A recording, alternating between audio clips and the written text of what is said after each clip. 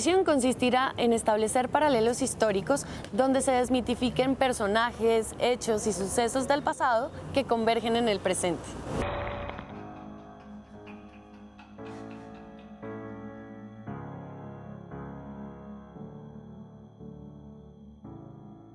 Las décadas de los 30 y los 40 fueron un periodo especialmente turbulento,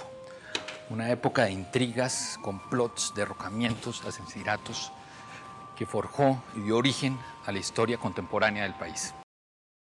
Desde que comenzó este barrio en 1927 hasta más o menos la década de los 50, este era el sitio de moda en Bogotá. Aquí vivían muchos de sus personajes ilustres de ese momento, personajes como Laureano Gómez, Mariano Espina Pérez, Enrique Santos Montejo, Roberto García Peña, en fin, una serie de personajes, pero quizás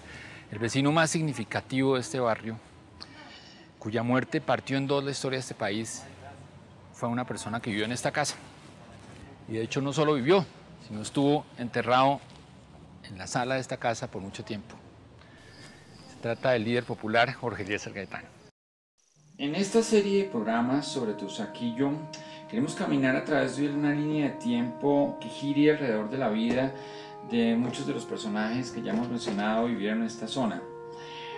Eh, y explorar además de muchos complejos episodios las maquinaciones en contra del gobierno que nacieron al interior de las habitaciones de muchas de estas casonas. Además que puede ser muy interesante indagar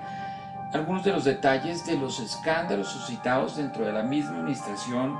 que fueron sagazmente aprovechados por la oposición conservadora y que en su mayoría ya han sido olvidados o son absolutamente desconocidos por las nuevas generaciones. Me refiero a escándalos como el de la Fair Handle, que exploraremos en un principio de la mano del discurso acusatorio de Enrique Caballero Escobar, para ver cómo gracias a un decreto presidencial en ese momento el país deja de incautar las acciones de esa compañía holandesa y cómo Alfonso López Miquelsen, en calidad de subgerente de Bavaria e hijo del presidente, se ve envuelto en un escándalo que causa dentro del partido y del gobierno una crisis moral sin precedentes. Otro desafortunado episodio muy comprometedor para el gobierno de López, que supo usar en su contra a su principal opositor desde las páginas del periódico El Siglo, fue el que surgió en torno al asesinato del exboxeador Mavatoco un suboficial reservista quien, como veremos más adelante, no solamente estuvo comprometido en un complot contra el gobierno, sino que atacaba el régimen desde un modesto semanario denominado La Voz del Pueblo, y quien días antes de ser asesinado había, según fue insinuado en repetidas ocasiones por los opositores del Ejecutivo, descubierto en circunstancias un tanto indecorosas al hijo mayor del presidente, acompañado de una distinguidísima dama cuyo llamativo color de pelo recordaba el techo de algunos de los tranvías de la época para hacer conexión con lo que veníamos hablando anteriormente, retomemos por un momento la figura de Mamatoco y su evidente eh, protagonismo dentro del batallón Sucre, con elementos subversivos del batallón Sucre, en donde se dio la génesis de un golpe de Estado en contra de López Pumarejo, instigado por los nazis y en contubernio con la derecha colombiana.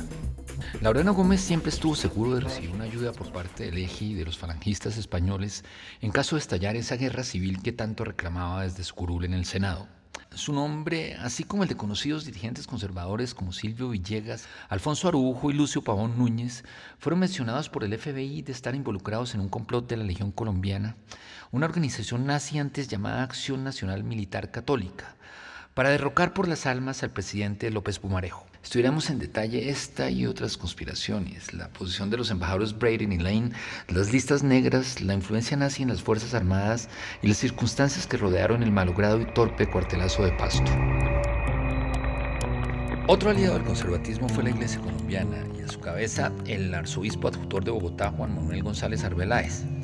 junto a Laureano y otros sectores de la Iglesia, pronto Félix Estrepo, se dedicó a hacerle la guerra a la masonería. Muchos de los ministros del gobierno de López eran masones, Darío Chantía, Lleras Camargo, Plinio Mendoza Neira, Gonzalo Restrepo, Moisés Prieto, Alegri Gómez Picón, Antonio Rocha, etc. A su vez, el expresidente Eduardo Santos, su hermano Enrique y antiguos miembros de su gabinete como Miguel López Pumarejo y Germán Ciniegas también eran masones. En general podemos decir que gran parte del liberalismo pertenecía a alguna logia o a la Junta de Notables del Jockey, la cual era de hecho otra especie de sociedad secreta. Básicamente vamos a hablar del inminente protagonismo de la masonería en la Revolución en Marcha y de la campaña antimasónica, el conservatismo y el clero durante los años de la República Liberal. En cuanto al posterior periodo conservador, además de discutir las fechas obvias como el 9 de abril o el 6 de septiembre de 1952, Hablaremos también en el último programa mm, detalles de la vida cotidiana y veremos cómo, por ejemplo, mientras en el interior de ciertas casas de la localidad se organizaban ejércitos de pájaros y chulavitas, unas pocas cuadras hacia el norte, jugadores de la talla de Di Stefano, Rossi o Pedernera entretenían al grueso de la población urbana, auspiciados por un gobierno que pretendía distraer y desinformar, para así mantener en secreto las atrocidades que vivían en las zonas rurales los campesinos liberales. No podríamos hablar de este barrio y esta época sin dejar de mencionar a Jorge Eliezer Gaitán. La vida y sobre todo la muerte de este caudillo ha sido ya tratada en numerosas series y documentales históricos. Así que aquí nos vamos a concentrar ante todo en la manera astuta como Gaitán logra esquivar las maquinaciones de sus adversarios y cómo eh, la mayoría de las veces consigue transformar sus derrotas en victorias ante una élite política que aunque le nombre ministro o magistrado, le aborrece y le desprecia. Por lo general, el interés detrás de dichos nombramientos fue siempre usar a Gaitán como un instrumento intermediario entre el gobierno y el pueblo. Pero a la vez se le invitaba con el propósito de imposibilitar sus incómodas intervenciones en el Senado, anulándolo de pasada como ente político y también, como lo han asegurado algunos de sus partidarios, conspirando internamente para hacerle caer en el error y lograr su desprestigio. Aunque Gaitán es víctima de esta trampa en algunas ocasiones, Logra poco a poco, fiel a su propósito de promover conciencia antes que ganar elecciones, convertirse en el tribuno del pueblo. Un pueblo que para la época está formado por un conjunto de gentes avasalladas, disminuidas por la ignorancia, el alcohol y la religión, que entregan su trabajo y su talento para el beneficio de terratenientes, industriales y políticos, concentrados en una clase dominante y todopoderosa. Es gente que hasta ese momento se ha prestado sumisamente para mantener viva la mentira de la democracia colombiana un país que Gaitán logra despertar y movilizar, mientras la élite finge no tomar en serio esta movilización, confiados como ahora en que las gentes humildes al final siempre vuelven a incorporarse bajo la obediencia a la sombra de sus señores naturales.